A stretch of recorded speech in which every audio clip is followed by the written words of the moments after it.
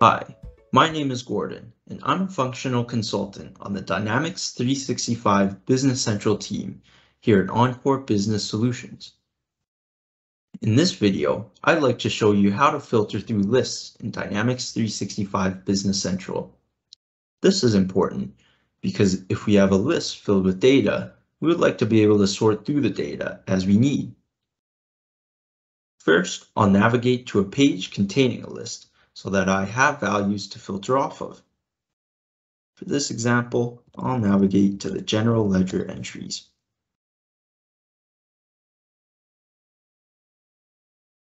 All right, so here on my page, we can filter on really any of these fields and more. So we'll navigate to the action bar and click on this little funnel here to open up our filter pane. From here, we can be we can be able to uh, begin adding our filters. Some filters will require some selections, for example, document type. If I select document type, I get a drop-down menu where I can select something like payment and invoice. Now that I've checked those two off, my list only contains payments. And if I scroll down a little bit, invoices.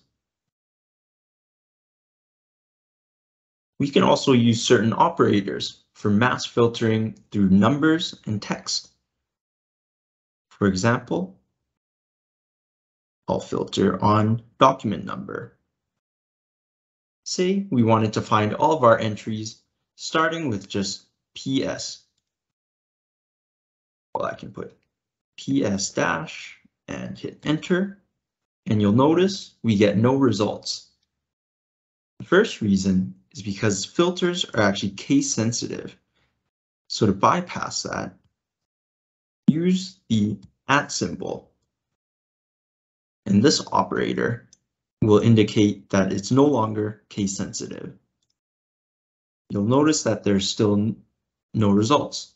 The reason for that is because it's searching for the exact string here, ps dash.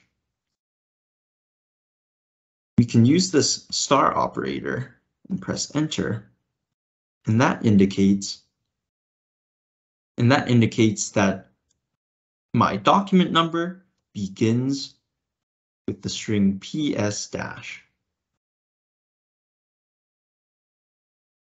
Now we can filter on a number field, something like the amount. If we wanted to filter the amount, we could use operators as well. For example, if we wanted any invoice or payment greater than or equal to 1000, and I'll hit enter. You'll notice now all my amounts are greater than 1000.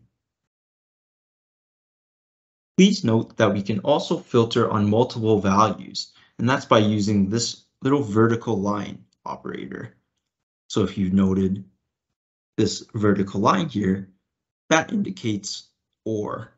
So this is indicating the document type is a payment or an invoice.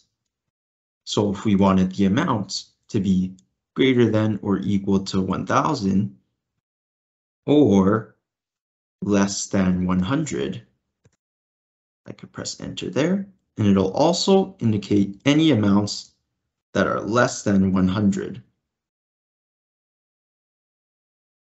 Afterwards, we can save this filter as a view by pressing the save button right here.